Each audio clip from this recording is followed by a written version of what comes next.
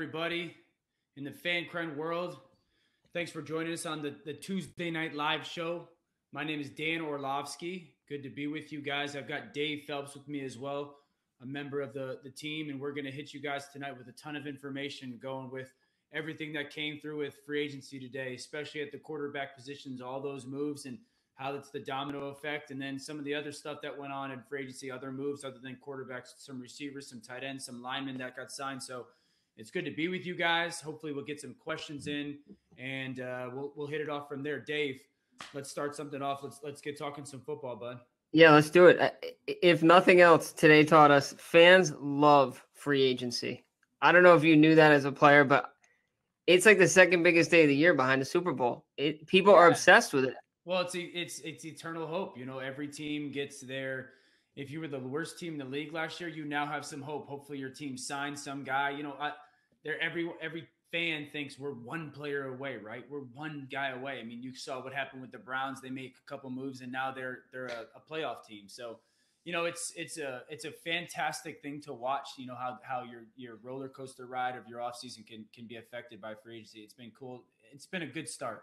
And the best part about it is everybody is a professional GM today. Everybody including myself. So yeah, we'll get yeah, let's get into it. Let's get into what the real GMs did. So the last two or three days, we had a ton of action. We're going to start at the top with quarterback specifically, and we'll get into some players. And we'll go from there. Yeah. Uh, overnight, Broncos move on with Case Keenum. Mm-hmm. What are your thoughts? Yeah, it makes sense. I, I'll. It makes sense for Case to go there. I was very outspoken before free agency started. I said, "Listen, Case Keenum." Not a knock on him, but the reality is, out of the quarterback jobs in the NFL last year, his his was the easiest. He, if you look at the receivers, they had the, the top rated receiver doing the NFL with Thielen and Diggs, really good tight end, and a solid run game.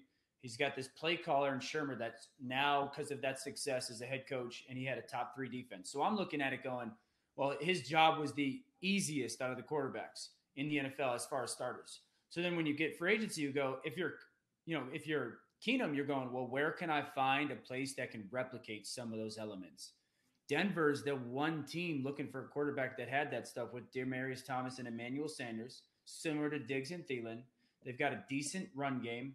They've got a play caller now in Musgrave who's going to run a very similar scheme to Pat Shurmur with the West Coast offense, which suits Case Keenum's game well, and they still have a good defense. So Case Keenum wise, it's the right decision. Now flipping it for the Broncos – it's interesting because Gary Kubiak's the guy who you know brought Case Keenum in from the University of Houston down to the Texans. It makes sense that he would want to go Case Keenum. I look at it like this: it's a it's a it's a better sign for Paxton Lynch that they signed Case Keenum than they went all in on Kirk Cousins. Because if they went all in on Kirk Cousins, that tells you everything you needed to know about Paxton Lynch. Where Case Keenum's a guy who he's a six or seven years in now you can still he's a guy who's always had to do things the right way right? As a as a quarterback he's always had to study the right way prepare the right way lead the right way. So he's going to have the opportunity to paxton lynch will have the opportunity to learn from case keenum. So i still think that's a variable. I honestly do. I think they're looking at it going okay case can right this ship for us at the quarterback position for a year or two. We can continue to develop paxton lynch. And i still think there's a chance that they take a quarterback with the number five pick or early in the second round, especially if Baker Mayfield's there. I, I honestly believe that that is still an option. I think John John Elway came out in the offseason and said, I will make this right. I will get this position right. And I don't think he's sitting there going, you know what? Assign Case Keenum, so we've got it. I still think there's more to more to happen there. And I think a big piece of it is we don't, at least I don't know the numbers yet. We haven't seen them. I, I think you said you heard some rumblings of uh, two years, I believe the numbers are going to make a big difference in the Keenum deal. If it's a three or four year deal, that that changes the scope on all of this. Yeah, I, I heard two years, which would make sense. You know, it's going to be eighteen or twenty million dollars because that's the going rate for a starting quarterback nowadays, which is nuts. But I still think that you know Elway's got to be thinking if you weren't going to invest that do- those dollars into Kirk Cousins, you've got to invest another draft pick. You have to. You because you've got to get that situation and that position figured out. Is is there any sort of arm strength issue with Keenum in Denver? Any sort of weather implications on that? I don't think. I mean, so. he's going from a nice, cozy, cozy environment, and we saw what he did in Philly. So yeah, I don't. I don't. That was a trouble. So. You know, Denver usually has okay weather for the great majority of the seasons. This is the thing that is is the right fit for him. Musgrave's going to call an off. So Case Keenum's best suit schematically is one that allows his body to play in rhythm. That's everything's on time. You don't want him to be this big play action guy, three hitches in the pocket trying to push the ball downfield.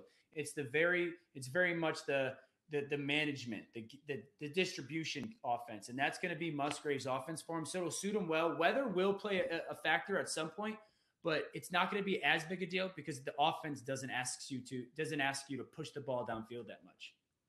Okay. I think the one we, we probably can talk about the least is the Vikings. Uh, it's it was kind of assumed uh, the last week to ten days that it was going to be Cousins the investment's huge, guaranteed 84. That's a that's a lot of dough, but only a three year deal, which from from their perspective, I think makes sense. You're not signing like a long term like baseball type contract where you're paying this out for 10 years. We've talked about it a lot, but for for the listeners that haven't heard some of your stuff on Cousins, where's your head? Oh, it's brilliant by Minnesota. It's brilliant because you if you looked at Minnesota and everyone keeps asking the question, well, you know, uh, you know, why didn't they just bring Case Keenum back? He was so good for them. It was going to be so much cheaper. You plateaued with Case Keenum. He got you as far as he was going to get you if you're the Minnesota Vikings.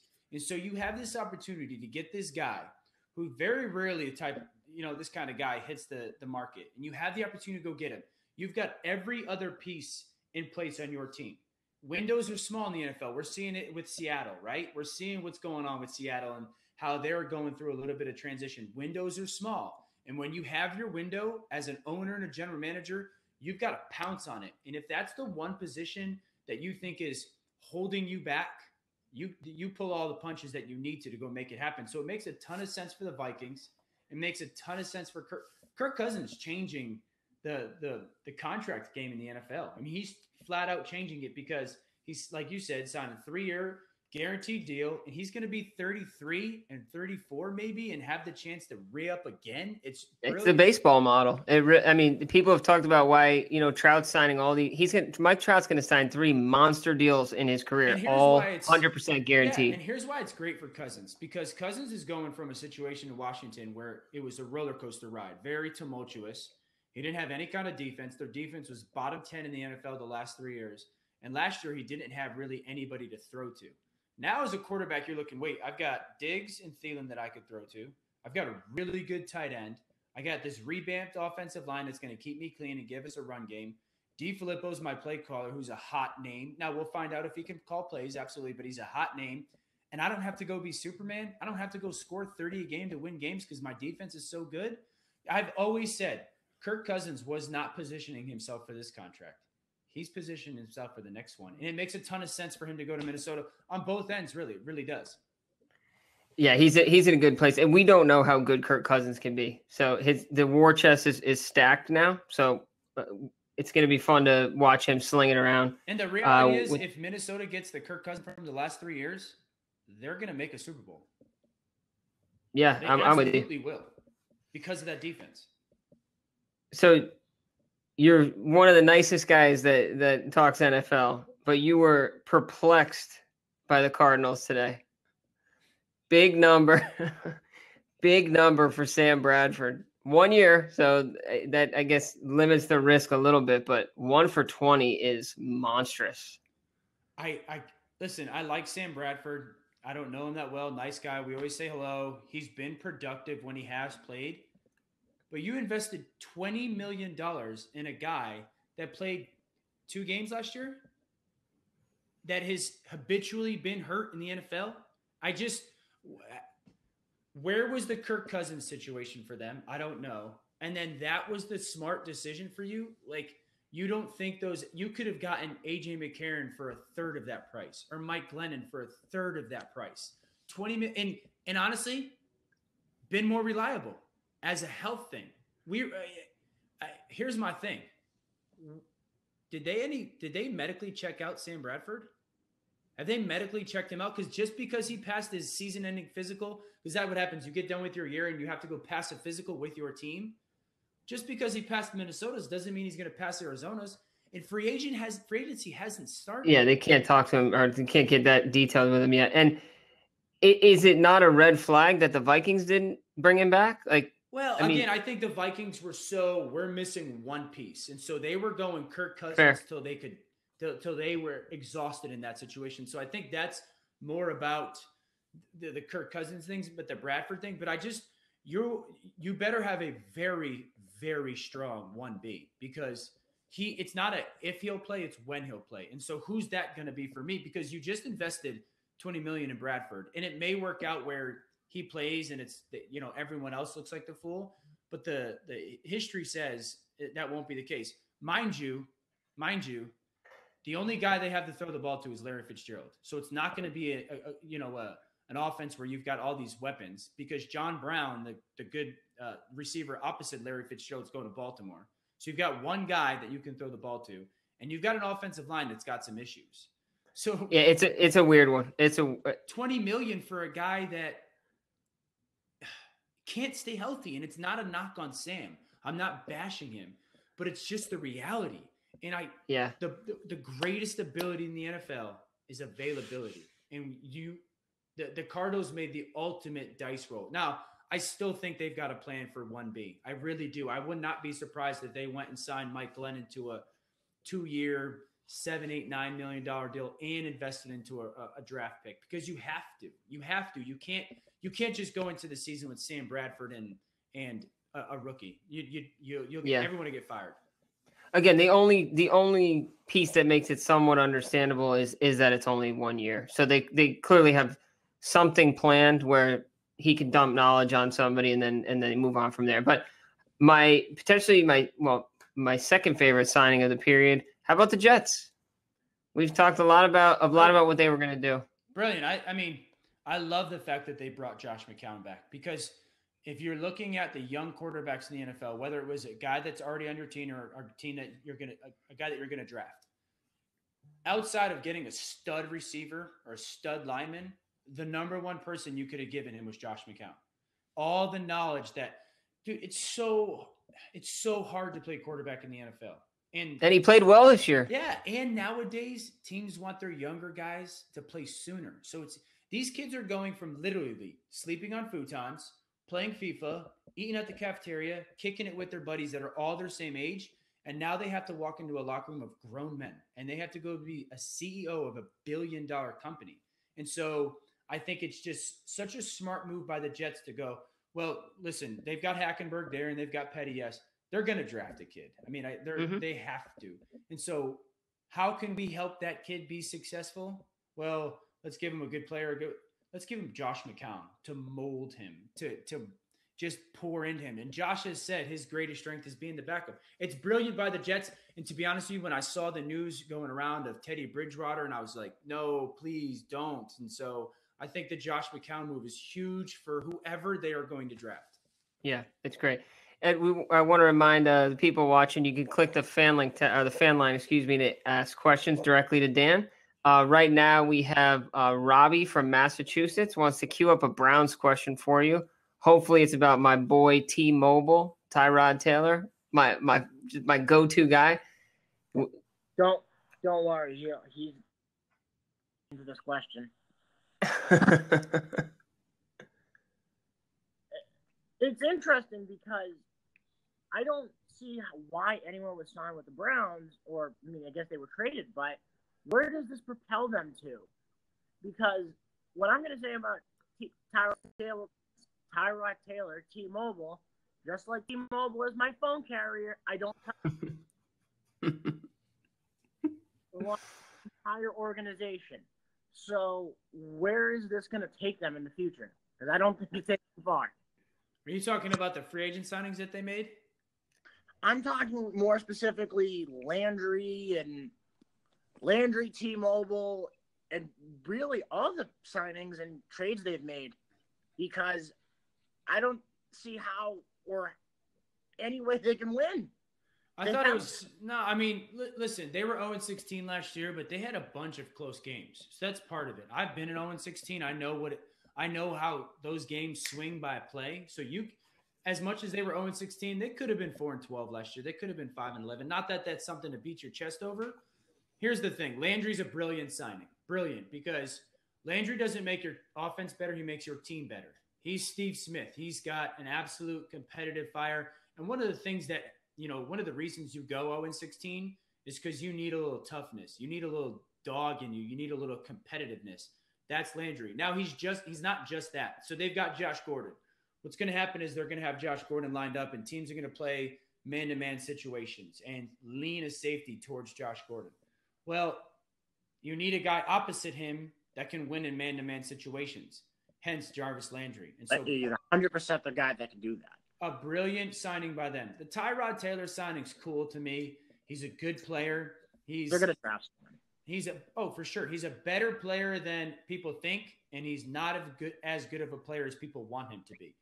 He'll be sufficient. He's better than DeShone Kizer, so they're better at the position today than they were a couple days ago when they made the trade. They absolutely need to draft somebody at the number one position. No hesitation. Find the guy that you like and take him. Don't get cute with it. Don't make the mistake. The Damarious Randall trade for me, nah, I don't really like Damarious Randall's game. I played against him a bunch in Green Bay he supposedly he's going to move to the the safety position. But I'll say this: some good moves by the Browns. They don't matter if they don't get it right on the quarterback position. I don't care who they brought in. It doesn't matter if you don't hit on your quarterback because you need to find someone for the next 10 years. And they have not done that in my entire lifetime. So, all right. Thanks, Robbie. Appreciate the call, man. I think Robbie was on last time we were we were on. I think Robbie's a Robbie's a big Robbie's a big Dan Orlovsky fan. All right, so that that wraps the teams that have made moves real quick. McCarron, Bridgewater, Foles, Glennon. Tough to pinpoint where they're where they're going to land now because so much has changed. Of those four, what kind of move or what move would you make? Yeah, I think the number one thing would be was what you know, I would look at Mike Glennon. What can I get for what? What can I get him for? I mean, he's a year removed from you know kind of being the crown jewel, the free agent class, quarterback wise, and signing a forty-five million dollar deal. He didn't play poorly last year in Chicago. He didn't play well, but they had nobody.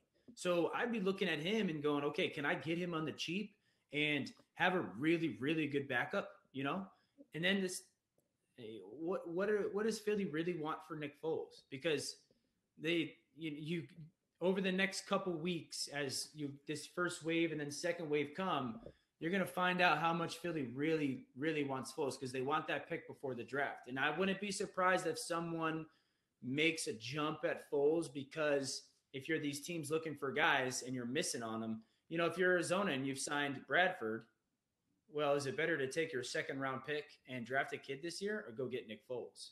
And so I think someone, but Glenn would be the first guy to entertain. Okay. All right, Dan, we got a question from Bill in New Jersey about QB contracts. Uh, we're gonna we're gonna cue him up here. What's up, Bill? He's popping on in one minute. Fellas, thanks so much for uh, taking my call here. Dan, I, I don't want you to be biased about quarterback contracts, but I understand they're the most important position in football, maybe all of sports. But when I see a guy like Kirk Cousins getting ninety million dollars for three years, eh, does does the quarterback contract kind of hinder some of the other signings that teams can do? Does you know does it put them a little bit of a in a pigeonhole? Yeah, it's a good question, Bill. Thanks for it, dude. You, listen, the quarterback contracts are what they are. Every GM in the NFL will tell you, I'd rather have a dude that I slightly overpaid than trying to find one. That's just the reality of the position because as silly as the, the numbers of this sounds, it's easier to find 52 other guys to put around that one quarterback that you have than continue to trying to find that needle in the haystack of a quarterback. Every year we've got 10 pretty good quarterbacks in the NFL. Good, really good to great. There's no we don't have 20 so there there's not a lot of them. So when you get the chance to get one, if it costs you a little bit more than you want to or your your cap space necessarily allows you to, you've got to go do it. But that's that's why teams draft kids. That's why teams draft, you know, a Russell Wilson in the third round and go on their run because they had that cap space. The Eagles with Carson Wentz. We're seeing with the Rams and Jared Goff. So it definitely hinders what you you know some pieces, and that's just the bullet you have to bite because again, if you have to decide between a franchise quarterback or or a pretty good weak side linebacker, your franchise quarterback wins because he's the face of your franchise. You have a chance to win with that guy every week. you don't have a chance to win just because of a weak side linebacker. Does that make sense? You know, so it the money part of it is what it is. That's why you got to have good cap people, good numbers people to kind of maneuver all those parts, and then you you you set guys where, where they value what value they fall into your team. Got it, man. Thank you so much. Yeah, dude. Thanks, Bill. All right, Dan, that's great. Moving on to uh, some non QB player movement. Uh, I know you like what the Bears did today. You want to talk about Oh, that? I love it. You know, I love it. So I woke up this morning, they signed Allen Robinson. I love Allen Robinson's game. I really do. I mean, if you look at the three years before last year with the ACL injury, super productive, playing in an offense and with a guy that isn't renowned for throwing the ball successfully with Bortles. Not a knock on Bortles, but he was still productive in that situation. And the great thing about him is he's a big body guy who plays as a big body guy. He's got vertical speed, he's strong, he's sudden and he's got everyone talks about a catch radius. Well, a catch radius means that he you could just throw it anywhere near him and he'll catch it. You know, he's got incredibly strong long arms and great reach for the ball. So I love that signing. And then immediately my mind went to, dude, they need to go get Trey Burton because then then their offense can get fun. And then they signed Trey Burton this afternoon. And I'll get on the board to show you know why the Burton and Robinson combination is going to be so paramount to Mitchell Trubisky's success as a young kid. So, listen, this is this is what happens when you get a guy like Trey Burton and Allen Robinson. So, say Chicago lines up and they've got Burton in the game with another tight end, which which would be 12 personnel, and then they've got Allen Robinson on the side. So you can line up and do this. So that's your one tight end, and this now could be a wide receiver. This could be Burton. And this could be Allen Robinson. Okay? So now defenses have to decide okay, they're in 12 personnel. How do we want to play them? So, one, defenses will call zone. So, if it's a zone situation, what you're going to get is a corner out here. This is the guy to pay attention to, Burton. You get a cornerback out there. Doesn't matter where anyone else is really. If that's a cornerback, Trubisky, before the ball ever gets snapped, is going to know I've got zone. Okay, so then you're going to have a game plan. Matt Nagy will have a game plan. Listen, Mitchell, if we get zone, we're going to try and run the ball. Bear strength is what? Run game with Jordan Howard. So we're going to, they're going to be able to run the ball really well. Well, let's say that it's a third down situation or it's a team that likes to play man-to-man defense. So now if a free safety or a linebacker walks out on Burton, Trubisky again has the answers before the test. I know it's in man to man. So now Trubisky can go, okay, I've got man to man. I've got a dude in Allen Robinson who can win in man to man situations. And I've got a guy in Burton who can win in man to man situations. So they line up in man. You're going to go into the game thinking, hey, Mitchell, if we get number 54, the linebacker out here on Trey Burton, we're going to throw it to Burton and we're going to throw him a go route. We're going to throw him a slant. We're going to throw him a double move. This is what Kansas City does with Kelce and the Patriots do with Gronk. And this is what they the Eagles did where Burton came from with Ertz. You're going to take advantage of those matchups. And then you say, hey, listen, if they're going to put number 26 out there who's a safety, we don't like that matchup. But now we have a guy who can go win. Now we have a guy who can go win in man to man. Mitchell, you don't need to figure out catching the snap. Okay, what's going on? Do I have man or zone? You already know that. Now, the third part is this say they line up and put a cornerback out here, and this is where good play callers come into play. You can have a, a man concept here route wise. So let's say, you know, they run a pick play. Okay. And then up here, you could have a zone concept where you're going to run a go and a speed breaking out to attack zone. So now, if the corner sits out here and you know it's zone, you've already told your quarterback before the snap which side he has to read. It's called cutting the field in half. And so it's going to make the quarterback's job so much easier. And that's what you're seeing with good coaches is figuring out ways to take these talented guys that are matchup problems and getting your your quarterback answers before the test. And that's why I loved those two signings because it was directly directly done for Mitchell Trubisky and he's going to have so much more success because of those two guys. So Dan, on that on that topic, Robert in the comments section wants to know does this mean after a year the Bears really have a ton of trust in Trubisky to go out there and get these two weapons? They like what they've seen. Well, yeah, I think they uh, they absolutely liked what they've seen because they went and traded up for him. Here's the thing. You always hear in the NFL, man, we're going to put these guys in positions to be successful. Well, this is an organization doing just that. You can't ask you really shouldn't ask any quarterback to go out and figure all that stuff out with the game, the NFL wise, with how talented guys are and fast and how spread out it is. But the, the the thing that you can do is go, okay, we've got this young quarterback that we like his tools. How can we make his job easier? How can we make his job easier? Let's go get him a really good receiver. Let's get him because you can't do it with any tight end. There's got to you've got to have a tight end who can one be serviceable as a blocker. That's who Burton is and two is a mismatch problem. If you if you just put out any tight end out here, you can't throw him the ball. That then it doesn't matter. Teams aren't scared of you. But Burton's that guy that can do all that stuff. And so that's how you're taking this young quarterback that you do like and going, okay, let's let's make this easy on him. Let's let's really progress his his mental ability at the line of scrimmage to go to the next step. And that's when you're gonna and and that's that was the point behind the Nagy hire too. He's coming from a, a Andy Reid who and who I said Kansas City did it with Kelce. So Nagy's to know all these things that you can do with Burton, and I think it's it's not necessarily a we trust Mitchell so much. It's going okay. We've got this young quarterback that we've invested in. Let's get him really, really good with players around him. They can also add the Philly special to the playbook if Trubisky's got some good hands, right? Gonna be have to be like Windy City special or something. Yeah, what a, what deep dish special. I love that.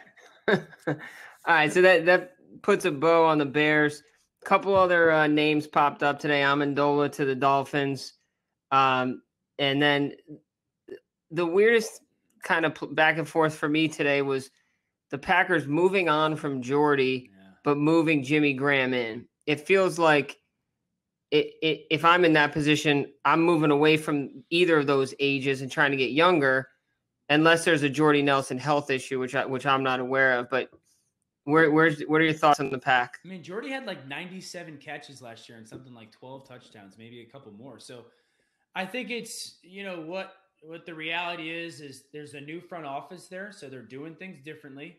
It's the nasty part of the NFL where you've got this guy who's been incredible to you as an organization, and it's time to cut ties to him in your eyes.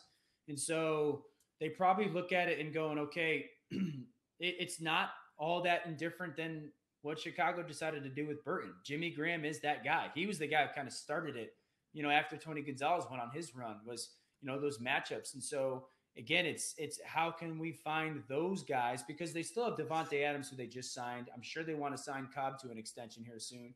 And so they've really been missing that tight end ever since Jermichael Finley left. That makes those things clearer to Aaron Rodgers and that he can really go attack. And so I think it was more the opportunity to sign Jimmy Graham than it was the disrespect of releasing Jordy Nelson. Jordy's going to have a hot market. He's way too good of a receiver. But I just think it's a new front office. It's a new front office. If this was last year, not happening. But it's a new front office, Green Bay, who said they wanted to be more aggressive. And I'm sure this has got a little bit of Aaron going, hey, I, I really want to get a tight end that is is a matchup nightmare. How can we make it happen? Okay. Uh, jumping back to the quarterbacks, Matt from Massachusetts is on the fan line. Again, we encourage everybody to hop on the fan line. He's got a question for you comparing Cousins and Keenum.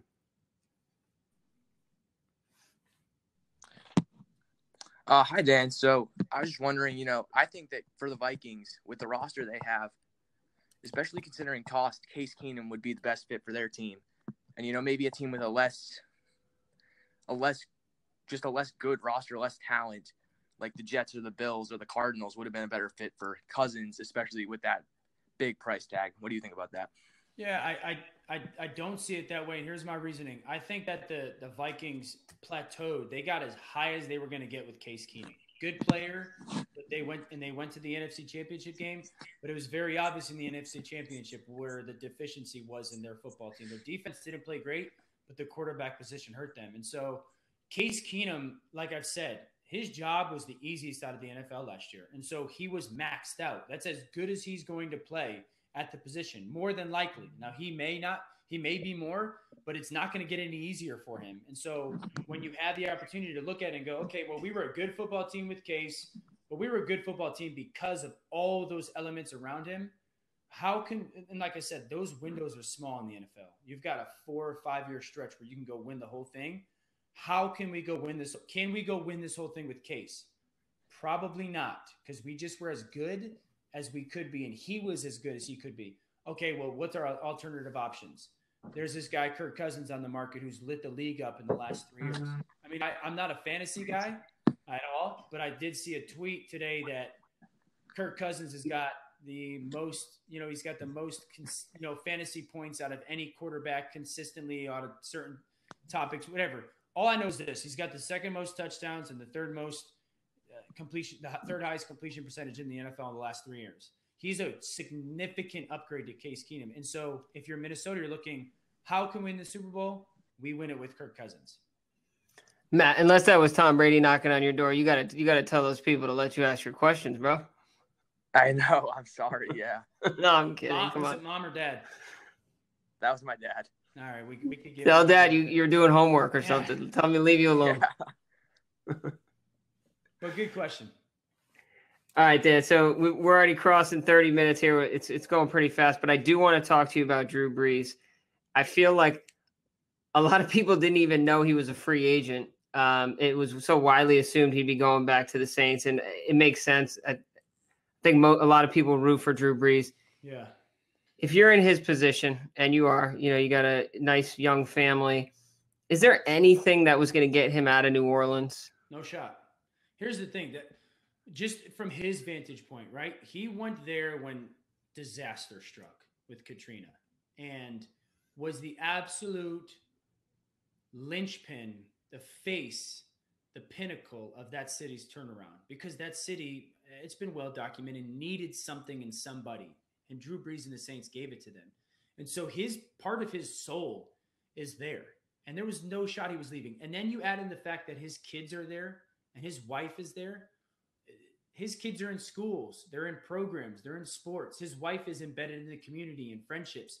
That's one of the things that makes free agency so hard is with guys that do have families, especially kids, the moving and the re, you know, the picking up and transferring of your family. Yes, the money's great. I'm, I don't want to downplay that, but it's not all roses. I mean, you've got to transplant your whole family again into a new community that you know is probably going to be short term again, you know, because that's the NFL world. And so I don't think there was any chance of him leaving. And also, if he did, that stadium would be down to the ground right now. I mean, that, that fan base would have revolted and backlash. No one would go to games. And so I, you know, what happened is what, what many expected. And I, I, I do think it's it's interesting how much free agency can change over the course of a player's life. Right after the draft, you're you're ready to go anywhere. You're you know you, you're the hottest new name in town. You want to come make a name for yourself. But to your point with the family, and, and you went through this a little bit with the Rams last year. You, you were still you were. I remember you trying to decide like, am I going to take my family with me? Am I going to kind of go on a little exchange program and see how long it lasts? So Yeah. I think it's I think it's important for all of us fans to realize that I mean these are actual lives that we're talking about. This is, these aren't just guys coming out and banging into each other on a football field. No doubt. And, it, you know, we've talked about Josh McCown, who's a friend of mine. Josh has got a daughter who's in college, and they've lived apart during the football season. I think like the last eight years of his career. I mean, that's you. That's a lot of time that he's sacrificed away from his family, and, and vice versa, his family away from him. And that's not that's not something that gets talked about or brought up. But it's. I mean, could you imagine that being gone for half the year? from your family. And I know that there's people who do it in the military and, and thank thankful for them for their service and whatnot, but it's not it's not the glamorous thing that a lot of people in, in, envision it to be.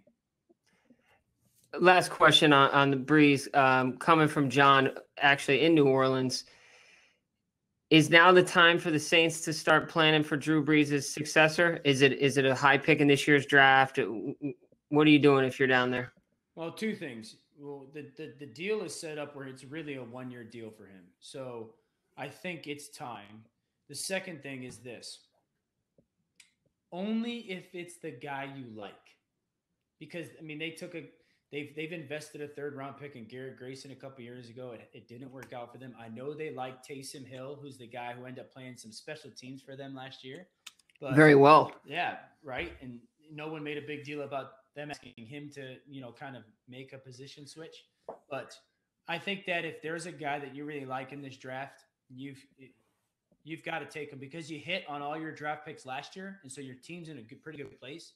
So I, I don't think you do anything crazy to try and go get him. But if someone falls to you, it's worth the investment right now because GM, GMs in the NFL need to plan for today, but also have a vision for tomorrow, and that tomorrow is coming very real for them at that position. And I don't. They wouldn't. They wouldn't be able to get someone like Mayfield because he's going to go away before they pick. Yeah. But imagine a, a, raw talent like Mayfield with a year or two behind Brees. I mean, it's just it is a perfect situation if you're willing to tell Drew Brees you're taking a quarterback instead of making the team better around him in his last one or two years. So yeah, here's the the name that I'll throw out there for people to pay attention to that I think is going to climb up boards a little bit more, and he's in that Drew Brees mold is Logan Woodside out of Toledo. The more I've watched his film, the more he fits that mold uh, that that Sean Payton likes in those quarterbacks, the Tony Romos, the the Drew Brees type of guys, and so he's a name that you can probably get in the second round, maybe the third, that I think, you know, someone's going to snatch him up, sit him for a year, and let him develop. And I think he's got a chance to be a pretty good player. Okay. Yeah, that's great. The Saints are going to be interesting team to watch this year. In, in, reality, they should have been they should have been playing Philly most likely for the for the trip to the Super Bowl, and it obviously didn't end the exact way that they wanted to. But I think they'll be back. So we're we're kind of out of time. We were going to talk a little bit about the draft. We can we could save that. We still got about a month or so until until that's upon us. But uh, just a couple quick ones at the end. Right before we went live, there was uh, Adam Schefter had something out there about Diddy looking at an ownership stake in the Panthers. That that'd be an exciting thing for Charlotte. Well, it's Diddy. Who doesn't Steph, like Diddy? It's Diddy and Steph Curry, right? yeah, but yeah, for, I think Diddy Steph would Curry. be the face. Give me Steph Curry. I'll take Steph Curry. All right, I'll take Diddy. Uh, did you fill out a bracket yet? I have. I filled out four for my kids today. wow. Did you were you picking mascots or uh, actual winners? No, my kids were picking off mascots. Yeah. well, based on how Philly's done this year, it's tough to pick against Nova, but we can talk about that another day. So, anyways, thanks for everybody that called in. Yeah, I appreciate Robbie, it. I think, was from Vermont last week. He was from Massachusetts today, so we'll we'll see where Robbie pops up uh, pops up this time. And if you do call in, make sure you tell your dad you're busy, so we don't so Dan doesn't get interrupted. But thanks a lot, everybody. We'll de- we'll let Dan close it out, but keep keep the questions coming. Uh, this is a lot of fun. Dan's yeah. got a ton of knowledge he can drop on all of us. Yeah, it was good tonight. I'm, I'm I'm glad that we got it done. Obviously, a huge day in the NFL. Good questions. My thing would be like this if there's more questions that people have, you can hit me up on Twitter at Dan Orlovsky7. You can hit up Dave Phelps at Phelpsy the Kid uh, on Twitter. Then we also have a podcast that you can hit up uh, hit us up on the backup plan pod with questions, emails, all that stuff. So, you know, this is this is a ton of fun for us to do and whatnot. So we enjoy it and, and appreciate everyone coming. We'll see you guys next week. Fancred. Thanks, guys.